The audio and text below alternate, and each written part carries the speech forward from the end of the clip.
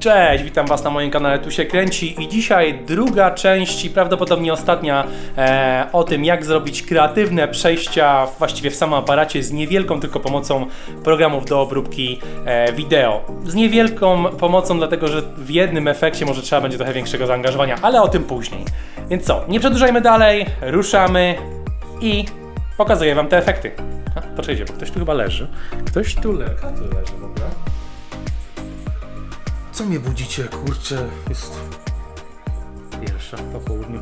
Dobra, słuchajcie, w takim wypadku jedziemy z pierwszym przejściem i pierwsze przejście to będzie przebieranie się.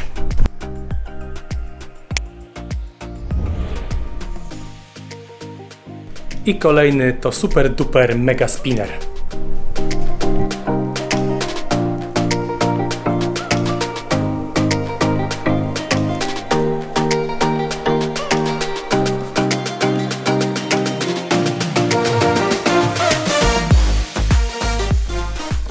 Dobrze zrobiło, słuchajcie. Kolejne przejście to punch your face. O, o tu bolało. Okej, dobra, słuchajcie.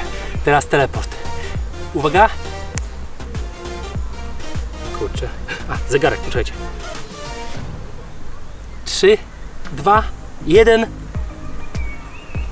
Kurde.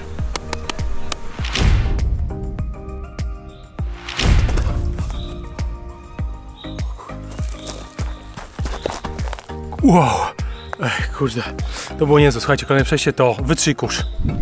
I kolejne przejście to twister.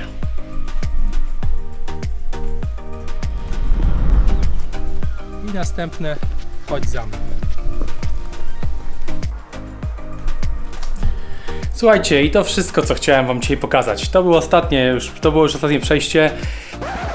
Ok, nie zapomniałem, teraz szybko pokażę Wam, jak zrobić efekt teleportu. Link do pobrania plików z dymem w opisie mojego filmu. Więc mamy dwa, y, dwa pliki. Najpierw bierzemy plik wideo, gdzie nie ma nikogo, potem bierzemy plik, gdzie jesteśmy, gdzie się pojawiamy, nakładamy jeden na drugi. Bierzemy klip z dymem, przekładamy ją na timeline.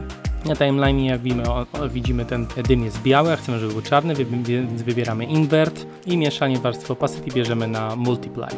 Dzięki temu dym jest widoczny. Bierzemy drugi klip, nakładamy i robimy z nim dosłownie to samo co z pierwszym.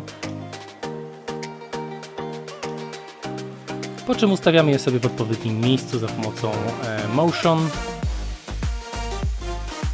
i za pomocą scale.